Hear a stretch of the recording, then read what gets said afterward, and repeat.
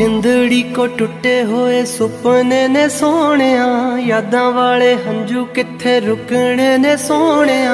ਕਹਿੰਦਾ ਤੂੰ ਹੁੰਦਾ ਸੀ ਕਦੇ ਛੱਡ ਕੇ ਨਾ ਜਾਏਗਾ ਐਦਾਂ ਦੇ ਖਿਆਲ ਕਿੱਥੇ ਮੁੱਕਣੇ ਨੇ ਸੋਹਣਿਆ? ਵੇ ਕਿੱਥੇ ਗਏ ਵਾਦੇ ਤੇਰੇ? ਉਹ ਸਾਰੇ ਇਰਾਦੇ